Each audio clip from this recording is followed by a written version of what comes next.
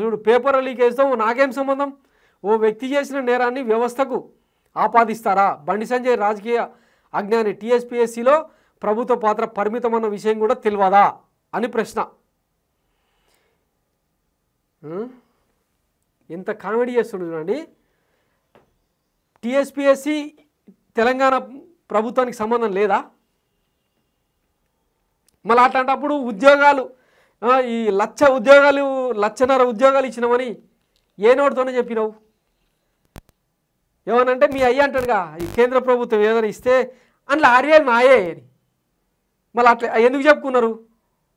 మీ రాజకీయ జీవితాన్ని బొందబెట్టడానికి టైం దగ్గర పడింది అంతే ఏం లేదు. అందుకే ఈ దిక్కుమాలిన కామెంట్లు ఇప్పటికీ కూడా అంటే ఆ అహంకార ధోరణిని పక్కన పెట్టి పిల్లల కోణంలో మాట్లాడతారని ఎదురు చూస్తుంటే నాకేం సంబంధం అంటే రేపు నీకు సంబంధం లేదు కాబట్టి పక్కకు పెడతారు అన్నట్టు రేపు.